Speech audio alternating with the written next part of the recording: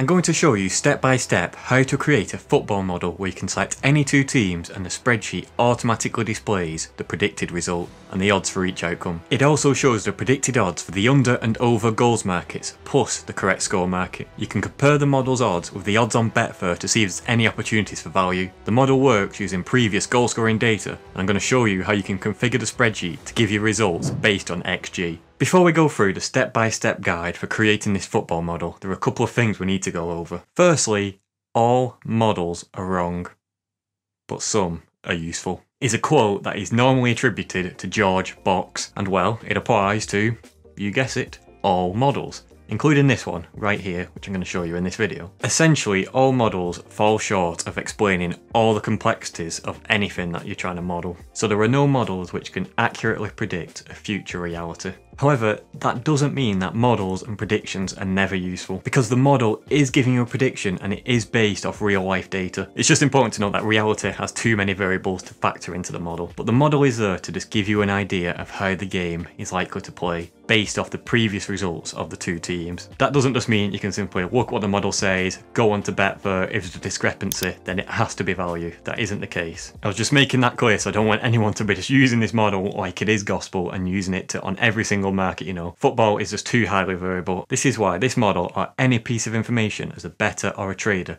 should only be treated as a single piece of information. When you put all the pieces together, you get an idea of if there is an opportunity in the market or not. Briefly, the model works on something called Poisson distribution, which in this instance is being used to estimate the number of goals in a football game.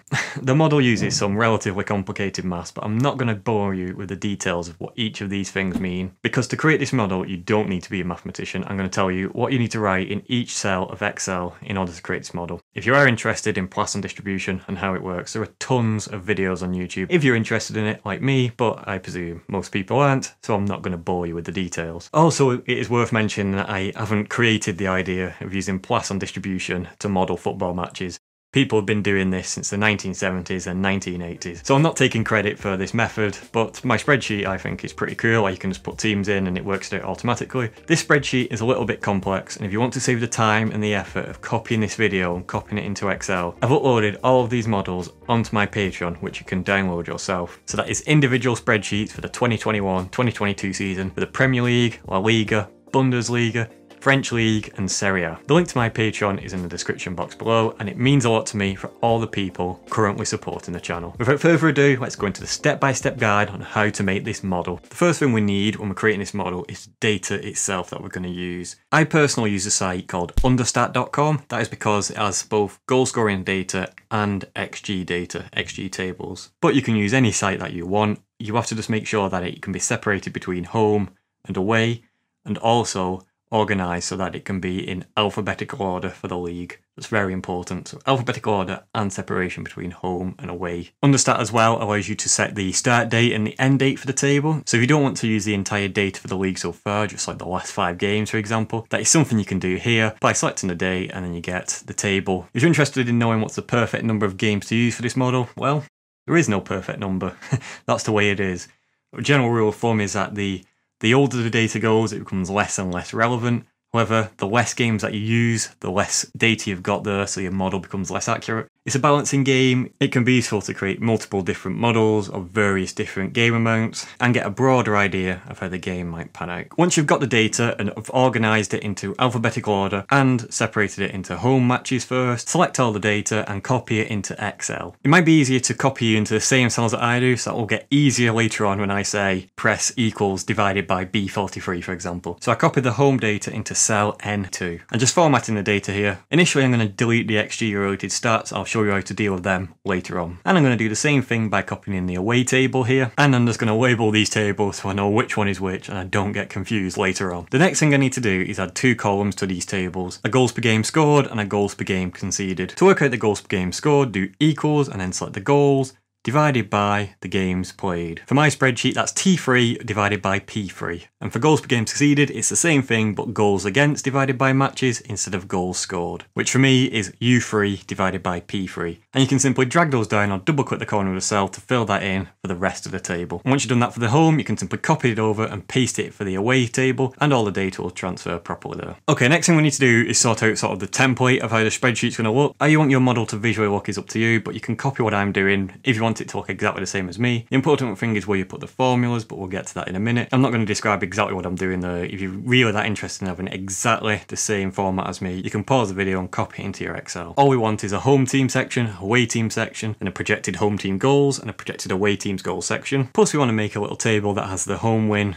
way win and draw probabilities. And we want two rows in that section, one for the chance and one for the implied odds. Next thing we need to make is an under goals market table. I make this for up to under 4.5 goals. You can make it up to under 5.5 goals or higher if you want to, but I personally don't see the need of that. I don't use any strategies that go that high. And again, we want percentage chance and implied odds for this one. Once we've formatted that table, we can simply copy it and paste it and change it to say over goal markets. And the last thing we want to make is a correct score table. And as you can see, you just want to draw in here all the scores that are available in the Betfair correct score market. So the highest score is 3-3, and then after that, it's any other home win, any other away win and draw. So there's no point adding like 4 1 or 4 4 because that isn't a market that's available on Betfair. Once you've got your layout for how you want your model to look, the next thing to do is add in a colouring. Typically, for some reason, I have the home team in green, the away team in red, and the draw in a yellow colour. Obviously, you can choose your own colours. And in the under and over goal markets, I make each other line a different colour just to separate it out a little bit. And I make the headings grey, and I make the background of the table blue.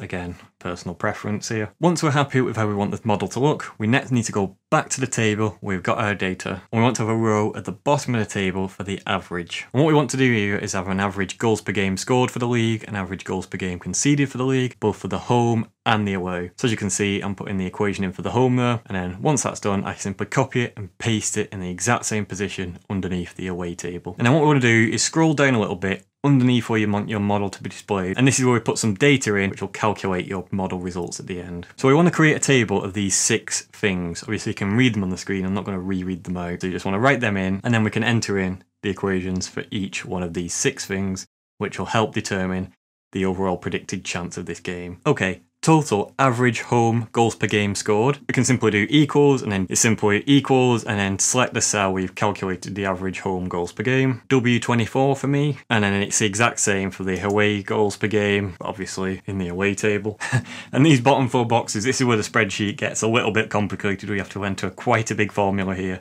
So again, if you're not willing to enter this formula, I do have these spreadsheets available to download on my Patreon. But yeah, let's get into these complex formulas. What we want to do is write equals ifs, so that's IFS, open bracket, and then we want to put A2. A2 is simply where you're going to enter which home team you want to be selected for the game and then you want to put equals again and then in quotation marks you want to put the first team alphabetically for that league that you're using. So for the Premier League, that's Arsenal, and then close the speech marks, then put a comma, and then we want to select Arsenal's average goals per game scored at home. So for me, that is cell W3. That is quite complex. You don't need to understand exactly what's going on. If you're really interested, you can research about the IFS equation in Excel, but I'm not going to go into that in detail here. All you need to do is simply copy the format that I'm using here. We need to repeat this same equation for all 20 teams in the league. So as you can see, it goes comma, A2 equals speech marks, Aston Villa, comma, then the average goals per game for Aston Villa, then comma, A2 equals, and it goes so on, as you can see here, until we've got all 20 teams for the league, which is the Premier League. That's what that looks like, so if you just want to pause the video and copy that into your cell, feel free. I'll be here waiting for when you come back because we got another three of these to write in the next three cells. So for the average away team goals per game conceded away, we just want to copy the cell from above into this cell and we just need to change all those average goals per game scored cells into the average goals per game conceded for the away team. So from my spreadsheet that is cells AJ. So as you can see I'm replacing all the W's with AJs. The next thing because this cell is related to the away team, all the A2s also have to be changed to whichever cell you have your away team selected as. So in my spreadsheet, this is selected as cell A2. Changing all those values now, and again, after I've changed them, feel free to pause the video and copy this into your respective cell. in your spreadsheet. For the average away team goals per game scored, this is identical to the cell above, the average away team goals per game conceded away. We just need to change those AJ values into whichever cell you have selected for the average goals per game scored away. So for me, that is cell AI. If you're using the same format I'm using, it'll be cell AI for you. And the final one is the average home team goals per game conceded at home. So this will be the same as the average home team goals per game scored at home. So we've got the A2 back in there all we need to do is change that W cell and in my spreadsheet that's been changed to an X. Filling out those four cells is the most time consuming part of this spreadsheet so if you've got this far you're doing very well. And if we go into cells A2 and C2, if we put two teams in that league though, these six cells that we've just created will be able to be filled with data. So we have another four boxes to create, a 4x2 table here. What we want in these four boxes is home attack, away defence, away attack, home defence. In the home attack box, we want to put the average home team's goals per game scored at home, so in my case, they'll be 37, divided by the average home goals per game scored for the league, which for me is cell B35. Away defence is away team goals per game conceded away, divided by the average home goals per game scored, which is B38 divided by B35. And away attack is B39 divided by B36, which is average away teams goals per game scored, divided by the total average away goals per game scored. And finally, for home defence, B40 divided by B36, which is the average home team's goals per game conceded at home divided by the average away goals per game scored for the entire league. That's confusing to understand, just copy the cells. It will all make sense at the end. And once you've got this in there once, you won't need to think about it again. Just doing a little bit of formatting there. Next, we want to create a 3 by 2 table containing these things, projected home goals, projected away goals, and total goals. In the projected home goal box, we want to put in the following equation. E35 times E36 times B35. That is a home attack times by the away defence times by the total average home goals per game scored. For the projected away goals, we want to do E37 times E38 times B36, which is the away attack times by the home defence times by the total average goals per game scored across the entire league. For the t- projected total goals, it's a simple one here. You simply add the projected home goals with the projected away goals. The next thing we want to do is create this table that I'm creating now, and this is where we're going to use the Poisson distribution to calculate the probability of the home team and the away team scoring X number of goals. I typically go all the way up to eight goals. You can go higher or you can go fewer. I wouldn't recommend going too much fewer than seven. I'm just doing some formatting of the table here.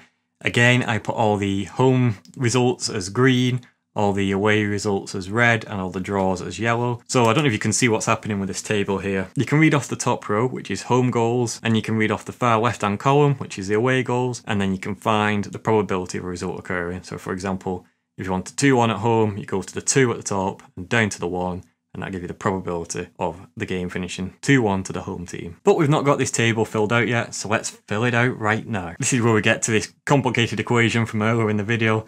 Now we need to type the equation in. Again, don't worry about what the each variable means.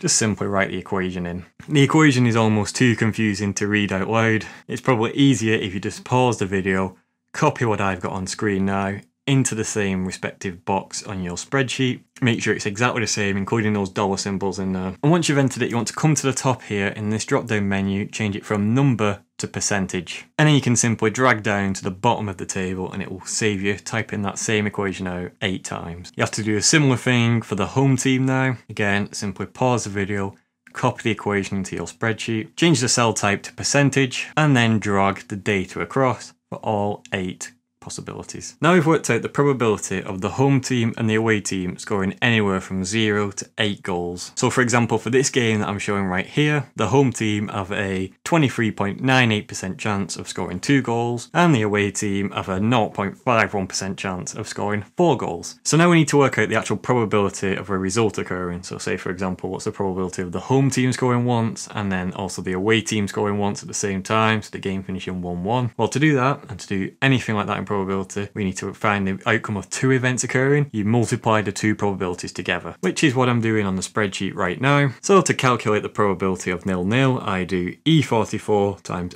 F43. I'm just changing the format to three decimal places and into percentages. And then as you can see, I'm doing this for each individual score now by multiplying the probability of the two scores together. And we get a complete table showing the probability of every single outcome occurring in this football match all the way from 0-0 to 8-8. Don't think there's ever been an 8-8 in football. Surely not. So now we need to scroll back to the top of the spreadsheet where we created our template. Do you remember that? It feels like a long time ago now, doesn't it? And then in the projected home goals box, to simply do equals, scroll down where we have projected home goals and click that cell right there and repeat the same thing for projected away goals. I changed the format to these to two decimal places. Don't have to do that. It won't make any difference. I just like the look of it. So next we need to work out the probability of a home win. So to do that, we click on this box here for home win and type in the equation equals sum open bracket and we want to select all the cells which are green or all the cells which are home wins and for the draw we do the same thing you know equal sum and add all the individual draws together. Work out the total probability of the game finishing in a draw. And for the away we do the same thing again equal sum and then select all the cells where the away team win. And then to work out the implied odds, we simply do equals 1 divided by the chance and then we can change the formatting again there to two decimal places and they're the odds. They are the implied odds of each team winning based off the previous goal data. Now let's look at the under and over goal markets. For the under 0.5 goals market, you simply, for the implied chance, there's only one way the game can finish with under 0.5 goals, that's a nil-nil. So we simply just do equals and then select the box which is nil-nil. For under 1.5 goals markets, we need to then press equals, sum and select all the outcomes where the game finishes in under 1.5 goals, which would be nil-nil or 1-0 to the home team or the away team. And then you repeat this procedure for all of the under the goal markets, so the under 2.5, 3.5 and 4.5, and however high you want to go. Simply just do equals sum and select all the possible outcomes which are under that goals. Once we've done that, we can convert these implied chances to implied odds by doing equals 1 divided by the chance, and then we can just drag that down to fill all of those boxes. For the overgoal markets, it's much easier. We can simply just do equals one and then minus the undergoals market. And then we can drag that down for each of the overgoal markets. And again, the implied odds is worked out by doing the same thing, equals one divided by the percentage chance. For the correct score markets, we just do equals one divided by, and then we select the correct score from the table below. And then we get to the point where we get to any other home win. And in that box right there, we simply have to do equals sum and then select all the games where the home team wins that are above 3-2.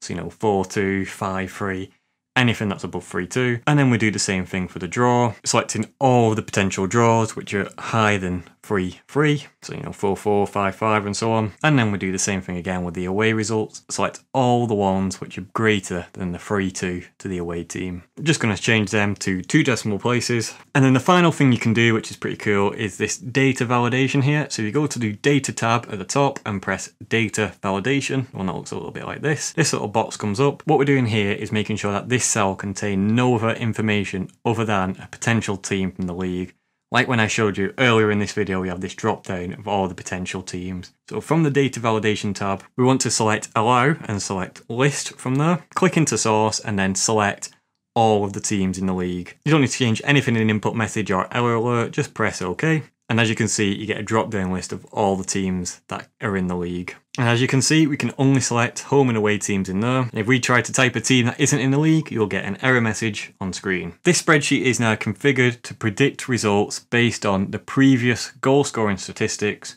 all the teams in the league across the entire season so far. As I said earlier in the video, don't have to use the entire league's data statistics. You can use like the previous five games. I showed you how to do that on websites like Understats earlier. What I'm going to do now is show you how you can use this exact model based off XG instead of goals scored. So I'm just going to copy the spreadsheet so we have two identical spreadsheets and then I'm going to go back to Understat back to the home stats, select the entire table and copy it into Excel. As you can see, Understat's table shows you the XG and XG against, but also annoyingly for us here, shows you the plus and minus compared to the goals they've actually scored. But what we want to actually do is delete all the plus and minuses for each of the XG stats. As you can see, which is I'm doing on screen. So we just simply have the raw value of the XG they have accumulated both home and away. This is a bit of a tedious process, but you know, you do it that often that you get used to doing this. All you need to do is select the XG and the XG against and copy it into the goals and goals against column from the original table. And the model will automatically work out everything else. So there's nothing you need to change. And we just need to do the exact same thing for the away data. And then the model will then be showing you the data, the XG statistics instead of the goal statistics. And as you can see on screen now, I'm showing you the difference between the XG model and the goal scoring model. There is subtle differences, sometimes significant differences. So again, back to the earlier point about no models being working,